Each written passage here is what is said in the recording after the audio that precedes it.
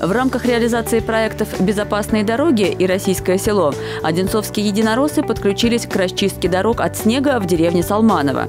Был отправлен фронтальный погрузчик на улице деревни и бригада рабочих для очистки крыши сцены у воинского мемориала. Вечером бригада отчиталась, что все поручения выполнены. Всего в Одинцовском округе в ликвидации последствий рекордных снегопадов задействованы все дорожные и коммунальные службы, муниципальные и подрядные организации.